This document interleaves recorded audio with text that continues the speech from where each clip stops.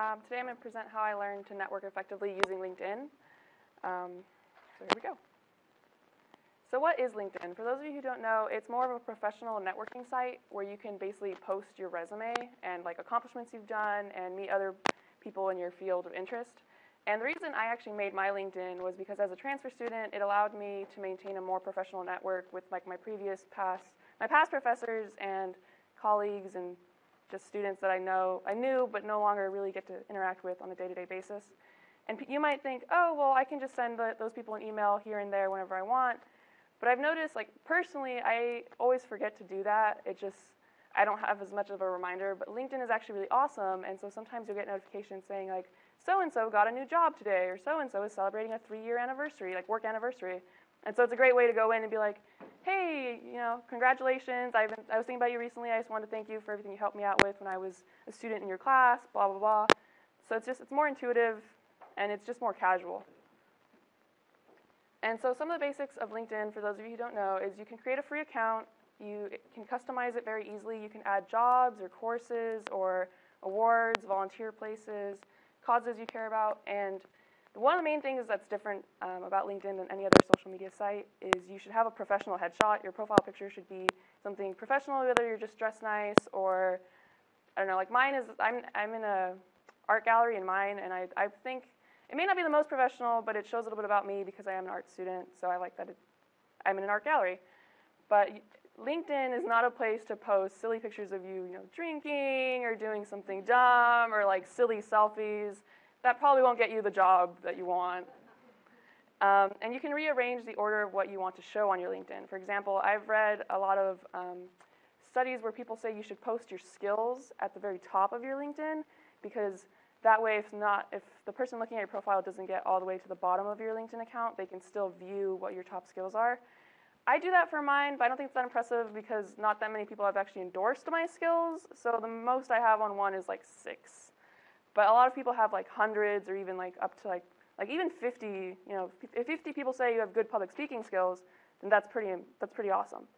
So yeah, um, and you can see who viewed your profile, which I actually kind of like because I am currently the social media and advertising intern at the Career Center, and I when before I even applied for the job or interviewed for the job, I had um, spoken with my current boss, but back then potential employer, and I gave her my business card, which has my LinkedIn information on it, and she actually viewed it, and I could see that she viewed it, and that was just a really nice feeling because I like my LinkedIn account, and I think it shows a lot about me.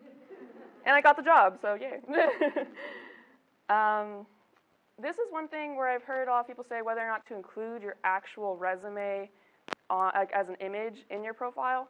Personally, I don't think it's the best idea because it might prevent people from actually really looking at your, the rest of your profile. They might just click on the JPEG and be like, oh, okay, like this is what that person has. But it, it robs them the opportunity of really getting to know more about you. And I pulled up my LinkedIn.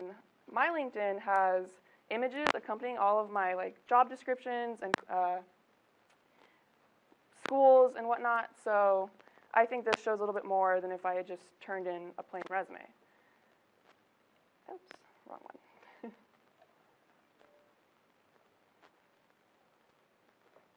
okay, but um, and then I said that maybe it's personal. It's personal preference. So maybe you don't have as much time to update your LinkedIn, but you do update your PDF version a lot, or your JPEG version a lot, or your document a lot. So maybe it's easier for you to just go to your LinkedIn account, upload it, and then if someone views your profile, they can just click on that. So it's personal preference, but I, I don't particularly support it. Why have an account? So I found this funny meme. A lot of people think that if you have a LinkedIn account, it's because you don't like your job and you're trying to find a better job, or something like that.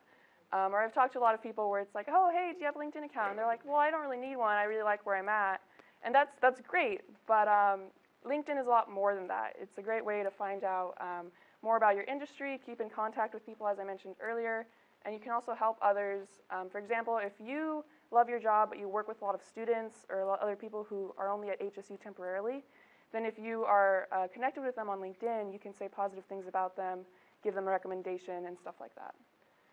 And then um, you shouldn't post everything you've ever done because it just it's too much to take in, and no one's really going to read all that. So it's very similar to your resume where you want to keep in mind like what's most important and what's going to show the best about you.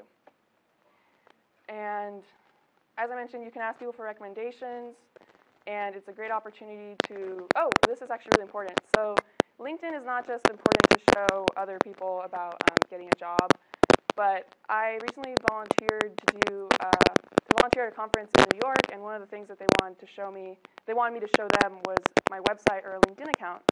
So I, I sent in my URL to my LinkedIn and they viewed it, they, they thought that was very helpful as opposed to if I didn't have a LinkedIn or if I don't have a website.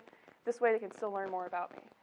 And I just wanted to say, I know I'm short on time, so I just want to say finally that we actually have events coming up through the Career Center um, on March 8th and March 9th where we'll be taking professional headshots of people.